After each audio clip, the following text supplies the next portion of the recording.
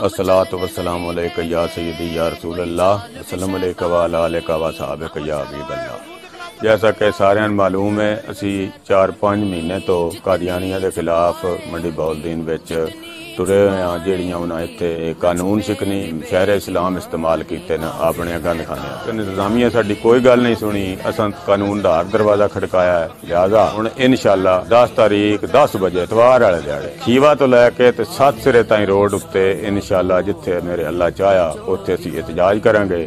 ਤੇ ਜਿਤਨੇ ਅਹਿਲ ਇਸਲਾਮ, ਖਤਮ ਨਬੂਵਤ ਤੇ ਈਮਾਨ ਰੱਖਣ ਵਾਲੇ ਨੇ, ਸਾਰਿਆਂ ਦਾ ਦਾਵਤ ਦਿੱਤੀ ਜਾਂਦੀ ਹੈ ਕਿ ਉਸ ਦਿਹਾੜੇ ਉੱਥੇ ਸ਼ਿਰਕਤ ਕਰਕੇ ਤੇ ਆਪਣੇ ਈਮਾਨ ਦਾ ਇਜ਼ਹਾਰ ਕਰਨ